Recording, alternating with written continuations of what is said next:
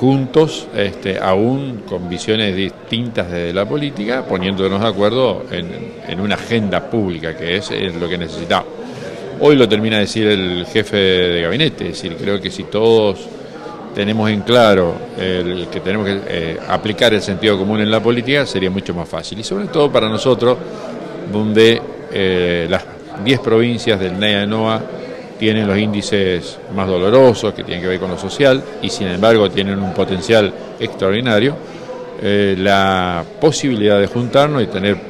este, proyectos comunes nos permiten avanzar paso a paso. Dos jornadas de intenso trabajo porque hemos traído 29 proyectos, de los cuales 26 han sido aprobados, 26 proyectos que el Chaco está aportando para el desarrollo este, y la integración federal del norte, del norte grande. Eh, proyectos importantes, interesantes para el desarrollo de la producción, eh, de la cultura y, todo aquello que tenga que ver, digamos, con, nuestras 10 provincias del norte grande. El norte históricamente estuvo postergado, eh, las brechas, las simetrías que vivimos realmente